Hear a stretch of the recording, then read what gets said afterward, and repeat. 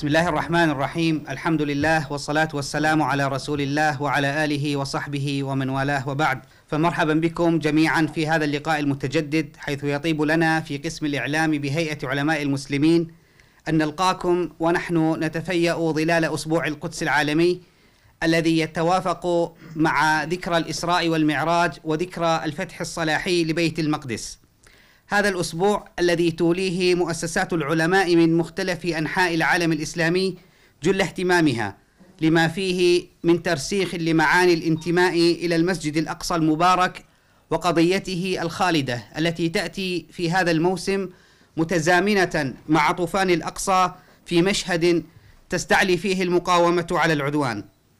ونسر نحن وأنتم بهذه المناسبة أن نرحب بفضيلة الدكتور عامر توفيق القضاء أستاذ التفسير وعلوم القرآن الكريم الذي شرفنا هذا اليوم ليلقي على مسامعنا محاضرة عنوانها في ظلال الإسراء والمعراج محطات مقدسية وحقائق عقائدية.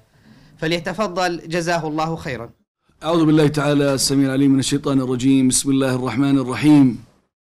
الحمد لله رب العالمين. نحمدك اللهم حمدا طيبا كثيرا مباركا فيه كما تحب. وترضى. صل وسلم يا مولانا على عبدك وحبيبك ورسولك ونبيك وحبيبنا محمد صلى الله عليه وآله وسلم. صل عليه يا مولانا في الأولين وصل عليه في الآخرين وصل عليه في الملأ الأعلى إلى يوم الدين. أكرمنا اللهم بحبك وحب سيدنا رسول الله صلى الله عليه وآله وسلم وأكرمنا يوم القيامة بلذة النظر إلى وجهك الشريف وإلى شفاعة حبيبنا صلى الله عليه وآله وسلم. أكرمنا مولانا بما تحب وترضى. استعملنا لدينك ومرضاتك مولانا وأنت على كل شيء قدير. وبعد الأحبة الكرام سلام الله عليكم جميعا ورحمة الله وبركاته. لا يشكر الله من لا يشكر الناس. فأنتم أهل الفضل في هذه الدعوة. ولا وأسأل الله عز وجل أن يكتب لنا ولكم الأجر والثواب. ويعني هذا من دواعي التشريف لأخيكم. أن أكون بين هذه الذوات الكريمة والقامات الطيبة من أحبابنا وأهلنا في هيئة هذه الهيئة المباركة الكريمة التي لها من الاسم الطيب إن شاء الله من علماء العراق. ولا وليس الأمر بغريب على أهلنا وأحبابنا في العراق فأنتم أهل حضارة وأهل خير وأهل علم ونحن نستقي منكم فإحنا جايين معاكم يا أحبة يعني إن شاء الله. والعلم رحم بين أهله فلكم الفضل بعد الله عز وجل في الدعوة والاستماع. أسأل الله أن يعينني وإياكم وأن يعين الجميع على الخير دوما. هذا من الجانب الاجتماعي والزيارة واللقاء. فكيف إذا كان اللقاء في قضية عظيمة ترتبط بديننا وتاريخنا ترتبط بعقيدتنا ترتبط بكتاب ربنا ترتبط بسنة نبينا صلى الله عليه وسلم. كيف إذا كان اللقاء على قضية ترتبط بتاريخنا وواقعنا ومستقبلنا؟ قضية بيت المقدس قضية الأقصى قضية القدس على مدار التاريخ وليس الأمر غريبا. وبالتالي هذه الصلة التي يجب أن تربط كل إنسان مسلم. هي القضية يعني ولعل هاي فعلا دائما بحب أنطلق منها بالمفتاح. أن قضية القدس وقضية فلسطين قضية عقائدية قبل أن تكون قضية إقليمية وعنصرية وتراب وجغرافيا و... القضية قضية دين لن أقول منذ زمن حبيبنا محمد صلى الله عليه وسلم. لا لا. لا لا. لأنه سيدنا محمد عليه الصلاة والسلام ما هو إلا الشجرة الكريمة والبناء العظيم. الذي اكتمل ببعثة محمد صلى الله عليه وسلم بناء النبوات كما أخبر سيدنا النبي عليه الصلاة والسلام عن البناء وأنه بقي لبنة ناقصة فببعثته صلى الله عليه وسلم اكتمل البناء. فعندما أتكلم عن البيت المقدس فإنما يشدني الحنين إلى تاريخ عظيم منذ أن نزل آدم عليه السلام إلى الأرض. هذا البيت المقدس. الحديث عن القدس ليس وليد اليوم. والأمس و1948 وليس وليد لحظة طوفان الأقصى. وأسأل الله جلت قدرته أن يحقن دماء المسلمين على أرض فلسطين وأرض الشام وأرض العراق وأرض اليمن وبلاد. يعني أينما وضعت يدك على على خريطة العالم الإسلامي تجد جرحا ودما نازفا. والمشتكى إلى الله. لا مشتكى إلا إلى الله. وهذه طبيعة الإنسان المسلم. كما أخبر النبي عليه الصلاة والسلام فيما يروى عنه أعوذ بنور وجهك الذي أشرقت له الظلمات. وبعدين قال إن لم يكن بك علي غضب فلا أبالي ورحمتك هي أوسع لي. أعود إلى قضيتنا الكبيرة والكبرى والعظيمة قضية بيت المقدس. الحقيقة محطاتها كبيرة والعقائدية فيها كثيرة والتاريخية التي تشدنا. أنا بتكلم مع آه، حتى لو ما تكلمت من الناحية الإسلامية فقط بل إنها لا تشد الإنسانية.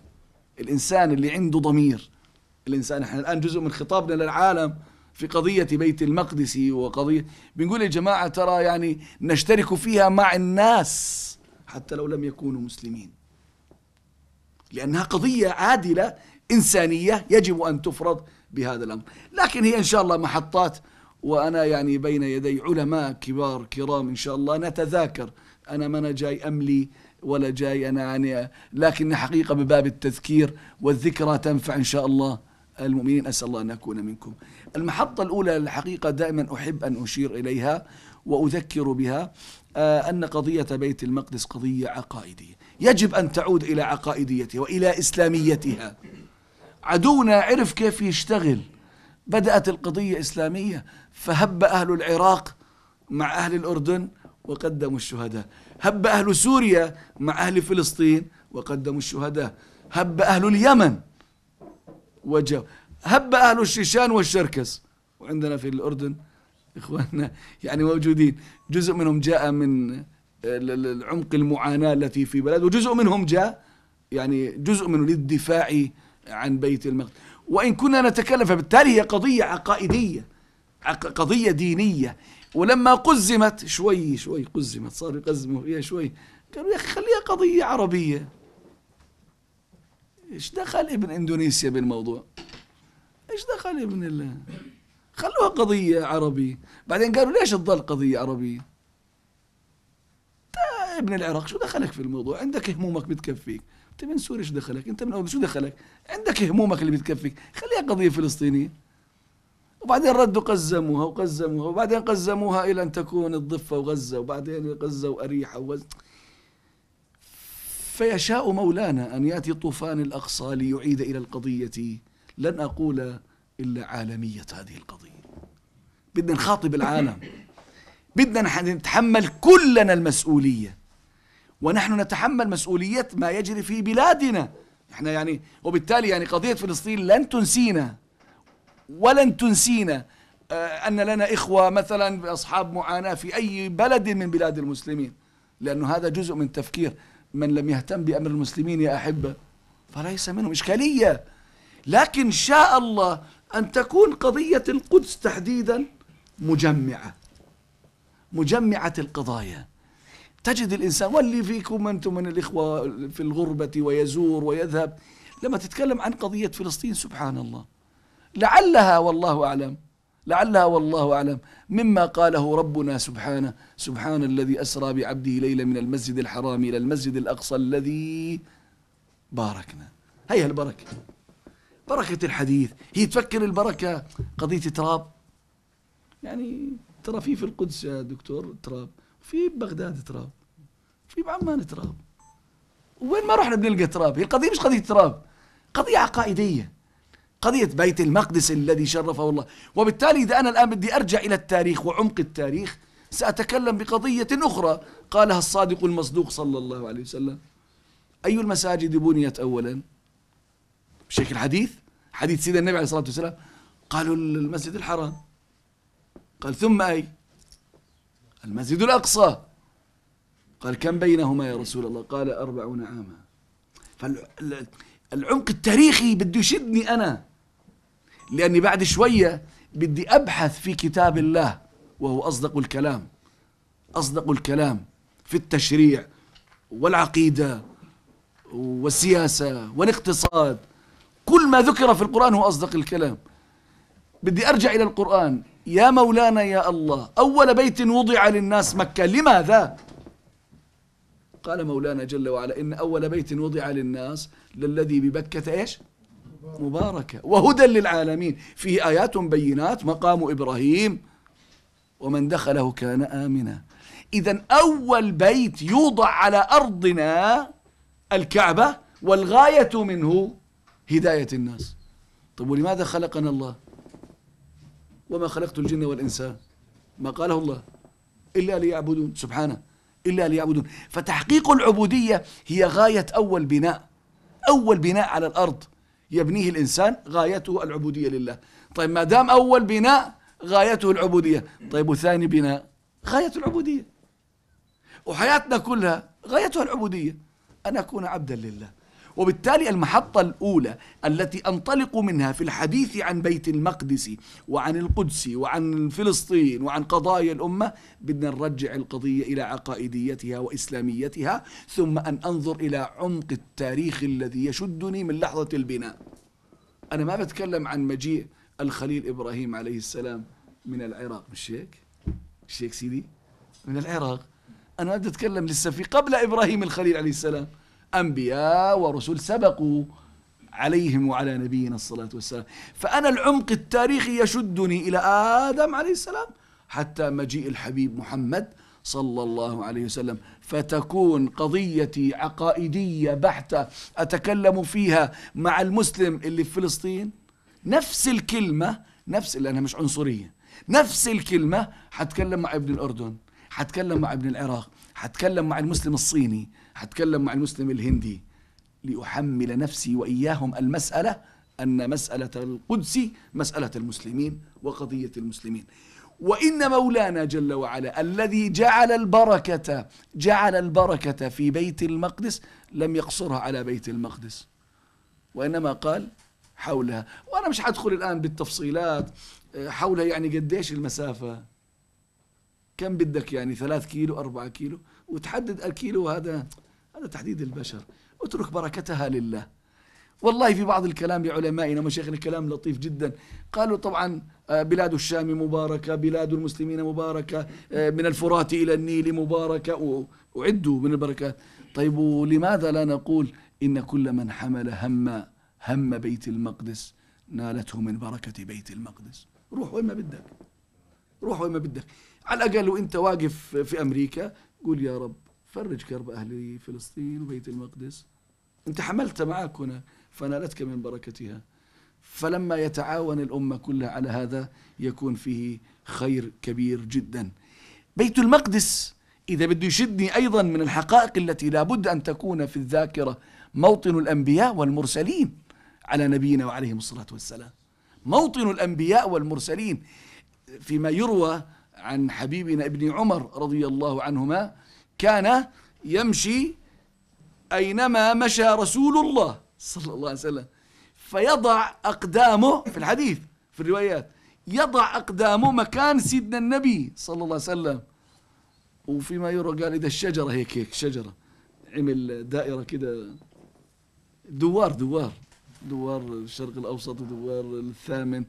عمل دورة يدور حولها ابن عمر. لما تفعل؟ قال فعل رسول الله. صلى الله عليه وسلم. طيب الآن هذه الخطوات المباركة موطن الأنبياء لما أنا بتكلم وجاءها الخليل إبراهيم على نبينا وعليه الصلاة والسلام. هذا يزيدني صلة غير التاريخ والدين بيحملني أمانة إن الخليل إبراهيم عليه وعلى نبينا الصلاة والسلام جاء ليحقق رسالة العبودية لله. هو ما جاش يعني سامحوني استجمام ورحلة وشمة هوا يعني إحنا بالبلد بنقولها هو مش جاي رحلة شمة هوا هو جاي لتحقيق رسالة الله تبارك وتعالى. وجاء الأنبياء والمرسلون من بعده. جاء الأنبياء والم... فهي آه، داود عليه السلام نبي الله داود عليه السلام وولده إسماعيل عليه السلام على وعلى نبينا الصلاة والسلام إذا موطن الأنبياء والمرسلين حملونا أيضا أمانة. ولهذا لما نحن نتكلم يعني في القضية العقائدية الدينية ونتكلم يعني طيب ما هم مهيم آه، داود وسليمان لمين أرسلوا هم في أي قوم؟ لبني إسرائيل. والله إنهم من بني إسرائيل هؤلاء براء. أية صلة هي القضية مش الدم. شو نوع الدم؟ آه، بي زائد وإيه زائد لا إنه ليس من أهلك إنه عمل غير صالح. مش قال مولانا الله سبحانه لنوح عليه السلام في موضوع ولده. هي القضية مش النسب. إن أولى الناس بإبراهيم مين؟ للذين اتبعوه. هي القضية عقيدة ودين واتباع. فلما جاء داود عليه السلام وكان من جيش طالوت وهو الذي قتل جالوت وآتاه الله الملك والحكمة فكان ملكا نبيا. فكان ملكا نبيا. وكان ملكه في بيت المقدس بشرع الله. هي القضية مش قضية لأنه إحنا ترى عرب كنعانيين إلنا الحق ولأن فلسطين ولأن أردن لا لا لا. هي القضية لأن الله عز وجل جعل الأرض له يورثها من يشاء وفق منهجه. ولما جاء سليمان على نبينا عليه الصلاة والسلام. وحكم هذه البلد أيضا حكمها بشرع الله. فلما يجوا سامحوني بعض الناقصين في العقول والفهم ويقولوا بدنا هيكل سليمان. أي هيكل تقصدون؟ إن أنبياء الله تعالى جاءوا إلى بيت مقدس عظيم. ما المكان اللي بيعبدوا الله تعالى فيه هو لله. ولهذا الحمد لله من من شرع نبينا محمد عليه الصلاة والسلام وجعلت لي الأرض إيش؟ مالها أينما أدركتكم فصل. إحنا هنا دخلنا على المكتب ونحن صلينا وإحنا ماشيين في الرحلة بنوقف على جنب الشارع وبنفتح السجاد وبنصلي. مش هيك بصير معنا في أي مكان لكن هناك أماكن سامحوني في اختصاص شوي حبتين. لا تشد الرحال إلا آه هذه ميزة خاصة. وإلا الأرض كلها لله. أينما أدركتكم الصلاة فصل. فهذه المنطقة المباركة بيت المقدس حل فيها الأنبياء والمرسلون. وكانت عين موسى عليه السلام ترنو للمجيء إلى بيت المقدس. فإن الله تعالى أمره أن يخرج من مصر من طاغوتها من كافرها من حاكمها وأن يخرج المسلمين مع المؤمنين. أن يخرج إلى وين؟ إلى بلاد الشام. وادخلوا الأرض المقدسة. شو قال مولانا الله؟ ادخلوا الأرض المقدسة التي كتبها الله لكم. آه يعني من النكت آه كان في واحد بيقول لي يعني أنتوا يا الشيوخ دائما متعصبين لويش؟ بلهجتنا الأردنية كده. فبقول لي انت متعصبين ليش؟ طيب ما هو القرآن بيقول لنا آه إنه طبعا هو بيجيب بيقول لي انت آمن في القرآن ولا لا؟ طب هاي القرآن بيقولوا ادخلوا الأرض المقدسة التي كتب الله لكم. طبعا هو معاه شهادة وشايف حاله يعني بهالشهادة قلت صحيح كتبها الله لهم. لكن متى؟ ومع من؟ ما أنت مش فاهم الطبخة الثانية. أنت فاهم الأولى مش فاهم الثانية. فهمك مجزوم كتبها الله لهم يوم أن كانوا تحت قيادة موسى شريعته التوراة عليه الصلاة والسلام. وبالتالي استحقاقهم استحقاق ديني مش استحقاق الجنس والعرق. بالتالي لما هم تمردوا على أمر الله ووصلوا إلى أكناف بيت المقدس شو قالوا؟ إن فيها قوما جبارين وإنا لن ندخلها أبدا. اذهبوا أنت وربك وقاتلنا هنا قائدون ولكم تمردوا على الله أمر الله سبحانه وتعالى. على أمر الله تتمردون. فشكى موسى عليه السلام أمره وحاله إلى الله. ربي إني لا أملك إلا نفسي. وأخي يا رب لمن نشكو أوضاعنا؟ يا ربي أوضاع المسلمين لمن نشكوها اليوم إلا إليك؟ اللهم فرج عنا ما نحن فيه. وإذا بمولانا جل وعلا يسري عن قلب كليمه وحبيبه موسى على نبينا وعليه الصلاة والسلام فيقول له فإنها محرمة عليهم أربعين سنة يتيهون في الأرض.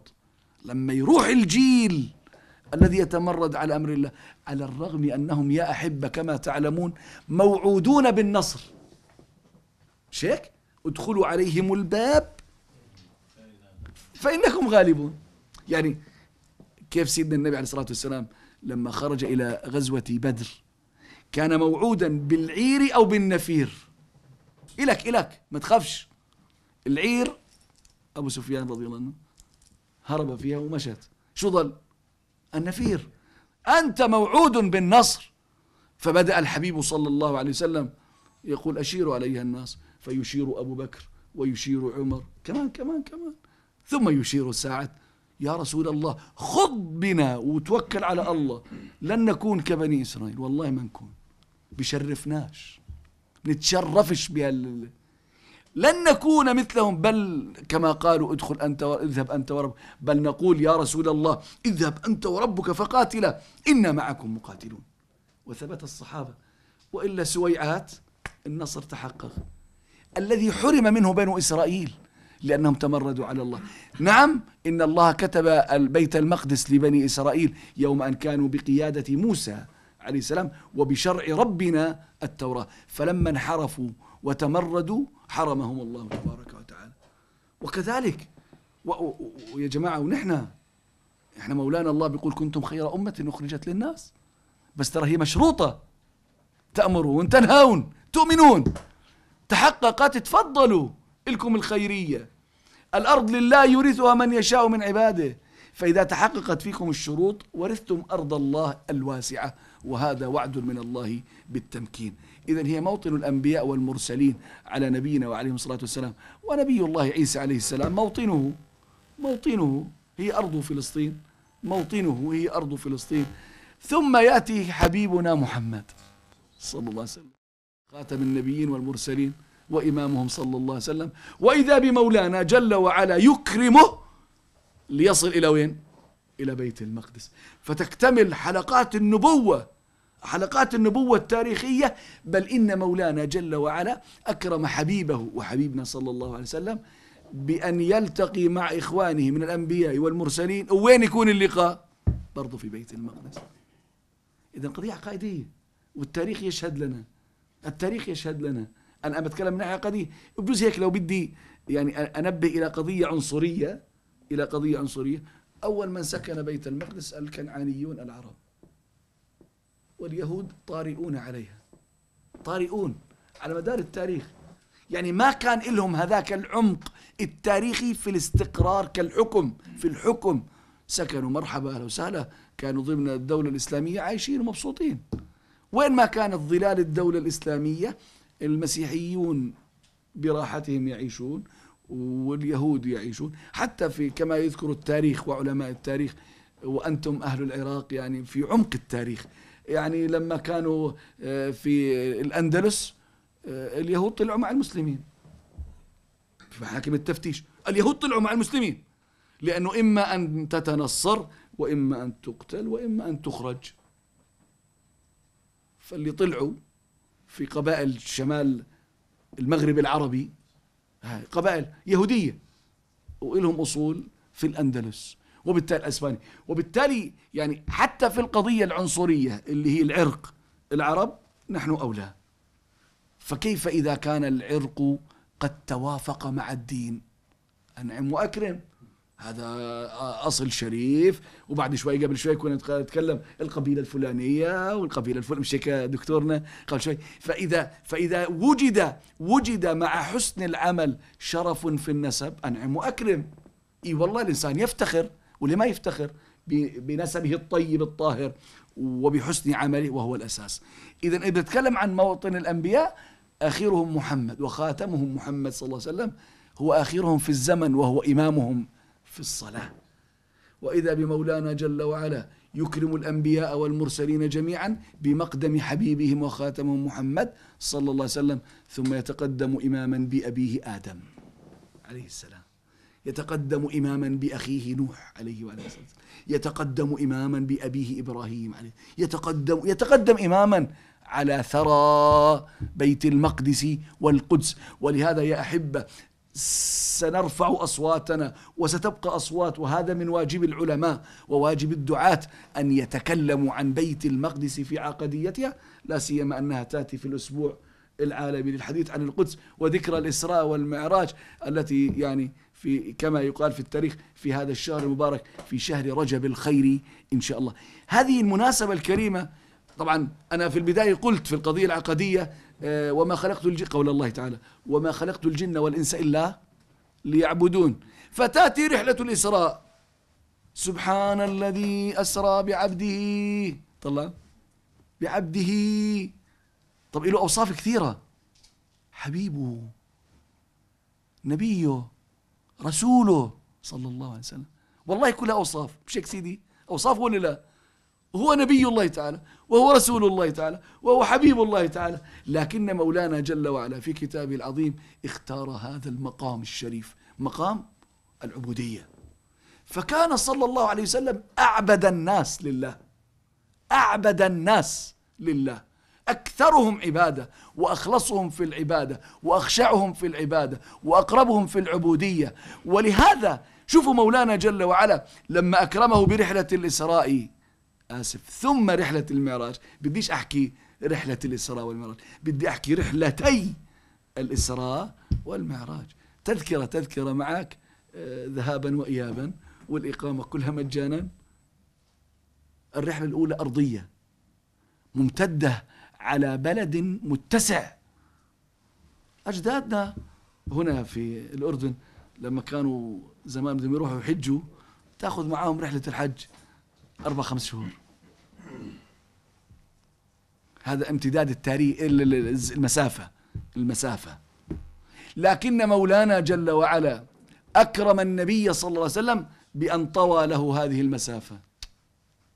لا تطلع الكيلومترات ولا على الميل.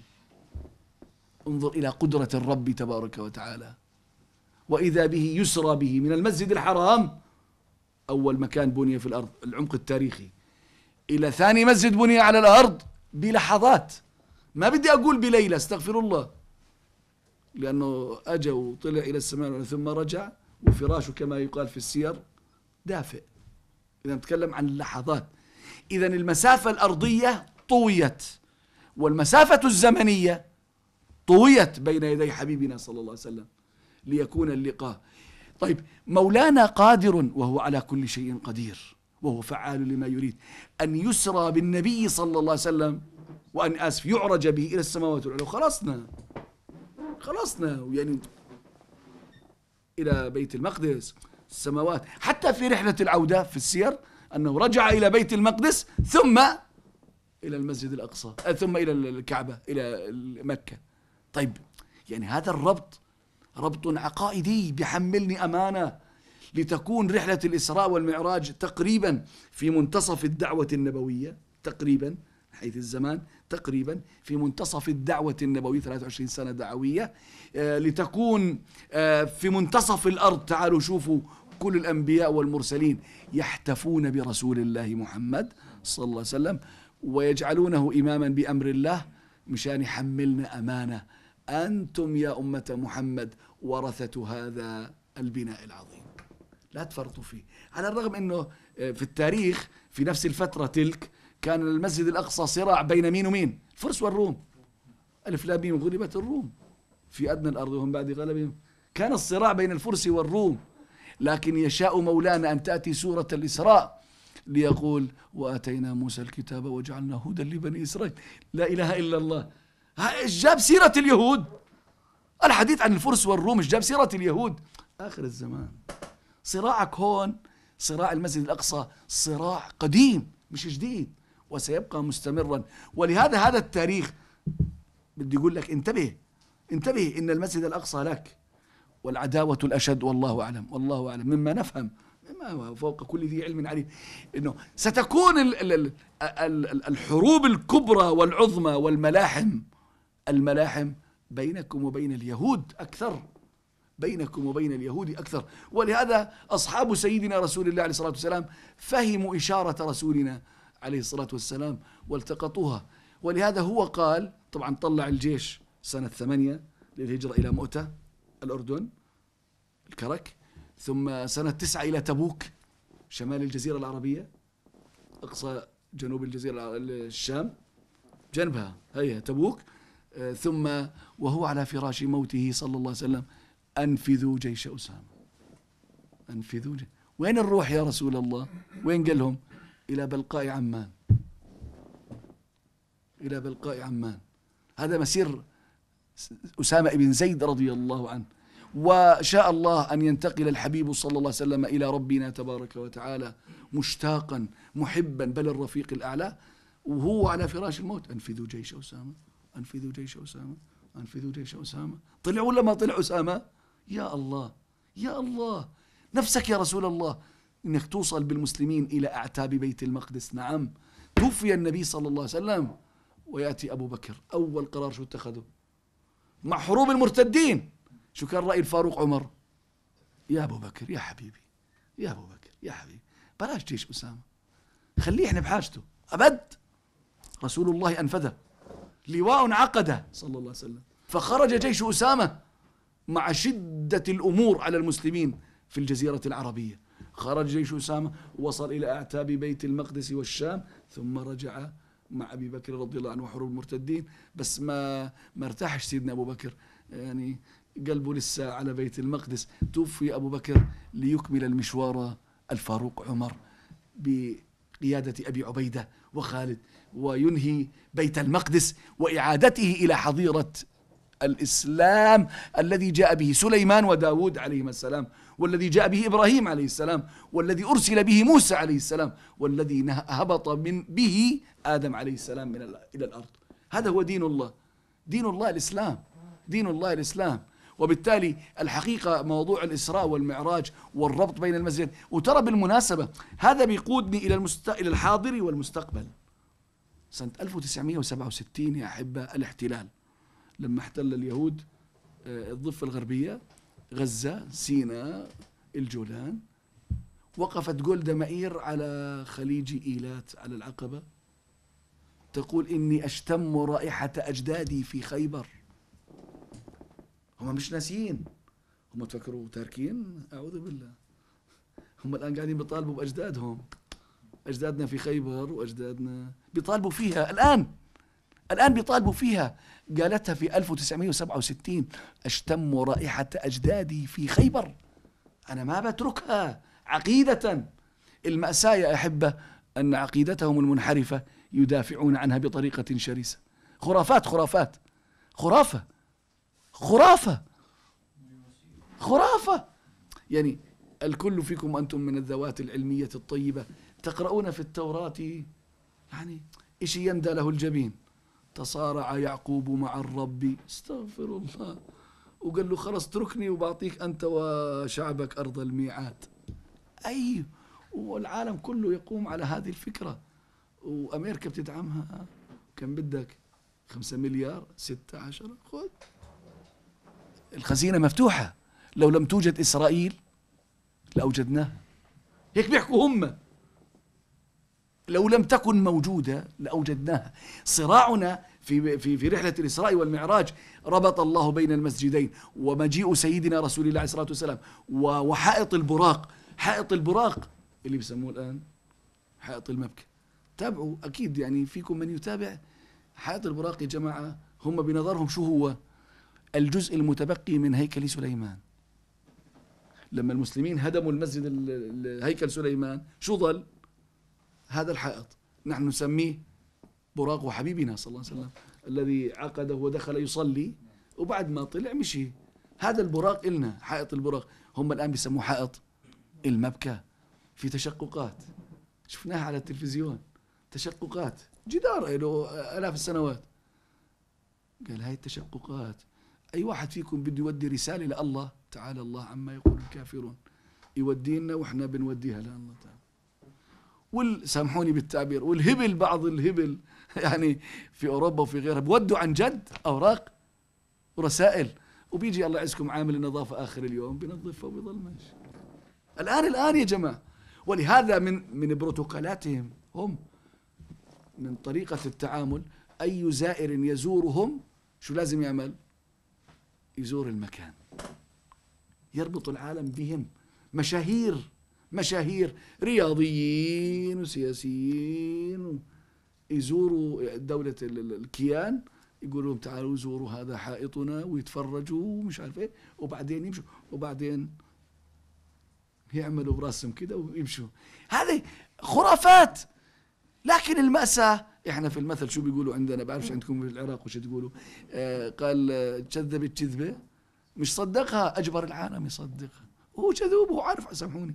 هو كذوب وعارف عنه كذوب. لكن يجبر والعالم يصدق والعالم يمشي معه. نحن في ذكرى الإسراء والمعراج. ربط الله تعالى المسجدين الكريمين المباركين بين بيت المقدس. لكن مولانا الله سماه الحرام وسمى المسجد الأقصى الذي باركنا حوله. والله يا أحبة دائما أحب أن أذكر إخواني. أينما رحلت وأينما ارتحلت. لكل مسلم يسمع مش لابن فلسطين. لأنه ابن فلسطين إذا بده يقاتل بس لأنه فلسطين بدها تصير عنصرية.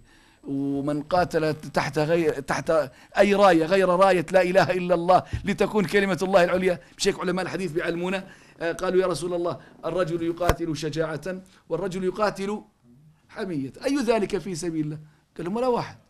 ولا واحد. بيستاهلش بيستاهلش طب من يا رسول الله؟ قال من قاتل لتكون كلمة الله العليا. وبالتالي هذه جزء منها من الإسراء والمعراج. أختم بقضية للمستقبل. إن شاء الله أن يأتي طوفان الأقصى اليوم. في هذه الفترة تحديدا والعالم كله يهرول نحو علو بني إسرائيل. والعالم العربي من الحبل الممدود لهم كما قال الله بحبل من الله وحبل من الناس. العالم العربي والغربي حبل ممدود مش حبل سري ولا سري بل علني. خذ من المليارات ما شئت خذ من المليارات ما شئت. بس كرمال عيونك لأنك صهيوني. شاء الله أن يأتي طوفان الأقصى في الوقت الذي كان العالم يهرول ويتسابق ويتنافس. من يقيم سلاما مع كيانهم الغاصب أقصد من دولنا الإسلامية. تسابقوا. بطريقة مش طبيعية صاروا يتفاخروا أنا معي في السفارة وأنت معكيش وموضوع التهجير وموضوع ليأتي طوفان الأقصى ليقول العالم وقف شوية بس. في ناس ترى في ناس وعد بالفور آه، المشؤوم آه، وعد من لا يملك لمن لا يستحق. قال قيموا دولتكم بس ديروا بالكم على الأقلية الموجودة. لنقول إننا موعودون وعلى وعد من الله سبحانه على لسان رسول الله. صلى الله عليه وسلم أنه لن تقوم الساعة لن تقوم الساعة حتى تكون مقتل عظيمة ميدانها بلاد الشام ميدانها بيت المقدس. فيجتمع مين يا أحبة؟ كمان مرة فيقول الشجر والحجر يا مسلم. مش يا فلسطيني؟ مش يا أردني؟ مش يا عراقي؟ يا مسلم يا عبد الله. والإسراء والمعراج بعبده. وأول غاية وضع البناء له وما خلقت الجن والإنس إلا ليعبدون. يا مسلم يا عبد الله هذا يهودي خلفي تعالى فاقتله إلا الغرقد. هذا بيحملنا مسؤولية إحنا المسلمين. واجبنا أن نكون على وعي لأنه حقيقة الخطر على المسجد الأقصى والقدس هو خطر على عمان وهو خطر على بغداد وهو خطر على دمشق وهو خطر على مقديشو وهو خطر على بلاد. بل إن ربنا سبحانه قال في كتابه ويسعون في الأرض فسادا. فسادا. في الأرض. فأينما حلوا هم الفساد وأينما ارتحلوا هم الفساد ولا يقارع الفساد بإذن الله إلا أهل الإصلاح الإسلام فقط وأهل الإسلام تحت راية محمد صلى الله عليه وسلم وتحت راية هذا الدين تكون المقتلة العظيمة والتي نسأل الله نسأل الله أن يمد في أعمارنا حتى يجعل لنا سهما في نصرتهم وفي تحقيق العزة لتعود راية الإسلام. مش بس على فلسطين ومعها الأردن ونشوف راية الإسلام في العراق ونشوف راية الإسلام في سوريا ونحترم الإنسانية باحترام ديننا. وعقيدتنا. نسأل الله ألا يحرمنا ذلك اليوم وأن يكرمنا مولانا سبحانه بالنصر والتمكين والفرج لأهلنا وأحبابنا على أرض غزة وفلسطين وكل بلاد المسلمين. اللهم آمين. ربنا اغفر لآبائنا وأمهاتنا وأزواجنا وذرياتنا وعلمائنا ودعاتنا وأحبابنا وسائر المسلمين وصلى الله وسلم على سيدنا محمد وعلى آله وصحبه أجمعين.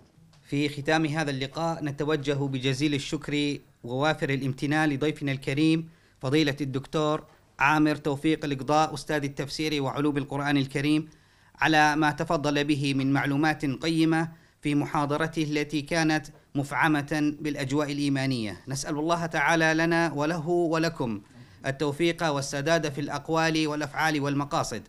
وإلى لقاء آخر بإذن الله تعالى نستودعكم الله والسلام عليكم ورحمة الله وبركاته.